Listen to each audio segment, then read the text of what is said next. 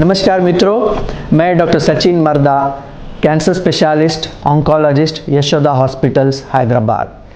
So so, हमको जो patient आते हैं वो काफ़ी बार कंफ्यूज होते हैं कि कैंसर का स्टेजिंग क्या है और कैंसर का ग्रेडिंग क्या है। और कई बार ये जो कन्फ्यूज़न है that can create wrong treatment और जो पेशेंट्स आते हैं उनको हमारे लिए जो कैंसर है, वो हमको बहुत अच्छी तरह से स्टेज क्या है और ग्रेड क्या है देखने के बाद ही उसका हम आगे ट्रीटमेंट कर सकते हैं।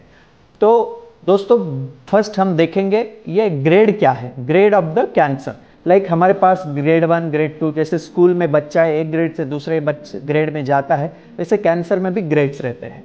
So grade one two three and sometimes four तो ग्रेड वन मतलब low grade grade two it is intermediate grade grade three is high grade and grade four is anaplastic grade मतलब एक कैंसर सेल का दूसरा reproduction बड़ा cell होने में या मल्टीप्लिकेशन होने में डबलिंग होने में कितना टाइम लगता है that is decided by the grade और this also determine the speed of the cancer of spread velocity मतलब एक जगह से दूसरे जगह कितना टाइम में कैंसर स्प्रेड हो सकता है, वो ग्रेडिंग से पता चलता है। अगर लो ग्रेड कैंसर है तो वो कम टाइम लेगा एक जगह से दूसरे जगह जाने में। अगर हाई ग्रेड वाला कैंसर है तो एक जगह से दूसरे जगह ट्यूमर जाने में ज़्यादा टाइम ले सकता है।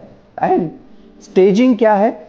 स्टेजिंग जो होता है, वो पूरा कैंसर का स्टेजिंग होता है। मतलब एक ऑर्गन से और कहाँ ऑर्गन में स्प्रेड हुआ है that is called as staging तो नॉर्मली चार स्टेजेस रहते हैं। Stage one two three four one और टू आर अर्ली स्टेज जल पहले वाले स्टेज है। स्टेज थ्री बीच वाला स्टेज है और स्टेज फोर मतलब एडवांस मेटास्टेटिक कैंसर जो बोलते हैं, वो स्टेज है। हम कभी कभी स्टेज ज़ीरो भी बोलते हैं that is pre malignant stage मतलब कैंसर आने के पहले जो स्टेज होता है that is pre malignant stage अभी हम ये कैसे पता करते हैं?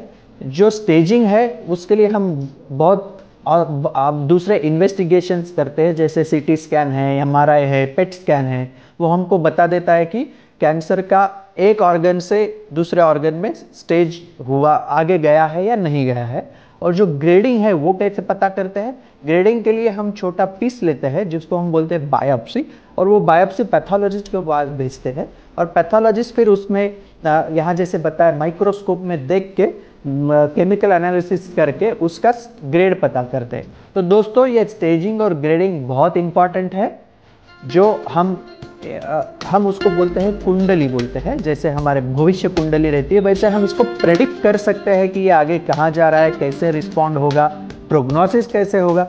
ये सब चीज़ें बेसिकली ये ग्रेडिंग और स्टेजिंग पे पता चलती है।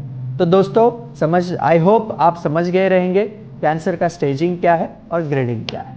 नमस्कार।